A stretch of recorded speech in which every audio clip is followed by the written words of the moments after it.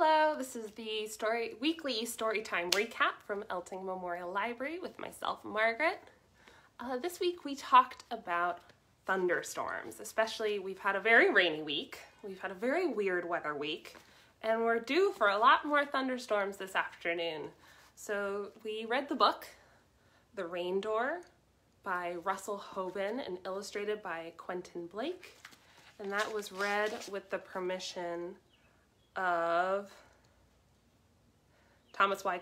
y. Crowell Publishing. And we also talked about um, what is thunder and lightning.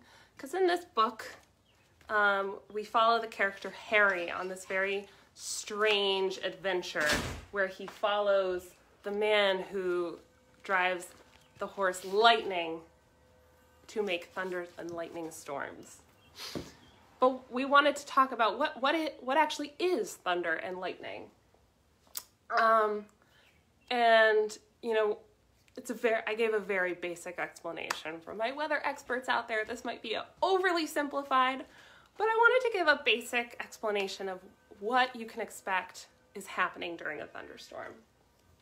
Um, and when you see big dark clouds billowing up, and you start to hear thunder and see the lightning, what's happening is inside that big, big storm cloud are little tiny, tiny, tiny balls of ice and water. And mine look very big compared to my cloud, but that's so you can see them. And when all these balls begin bumping and rubbing up into each other, they begin building up electricity, kind of, you know, when you make static electricity, you start rubbing your head and it starts getting frizzy. They're building up electricity inside the cloud when they're bumping and rubbing into one another. And it's like the electricity in your house or outside in the power lines, it's just a lot, lot stronger. And when a cloud builds up too much electricity, we explain that, you know, when you're inside and you're so full of energy and you just have to run around and be energetic.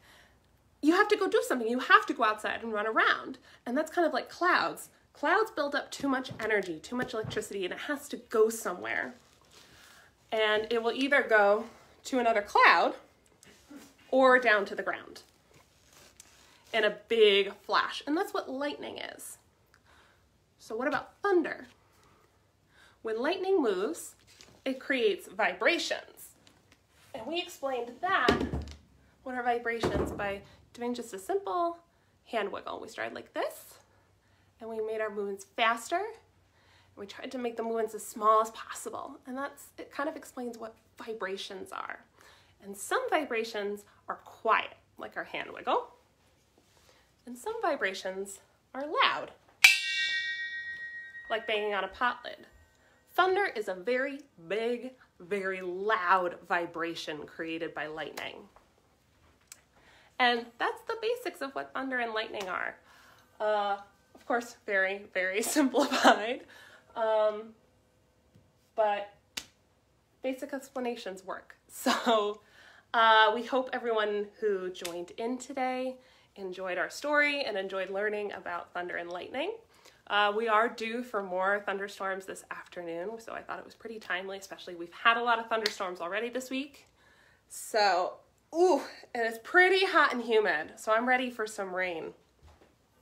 Hopefully cool it off a little before it gets really hot again next week.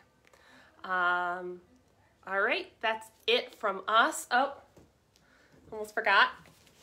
The letter of the week to look for L for lightning, and you just might see some lightning today.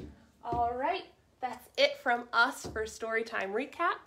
Uh, we'll see you next week. Bye.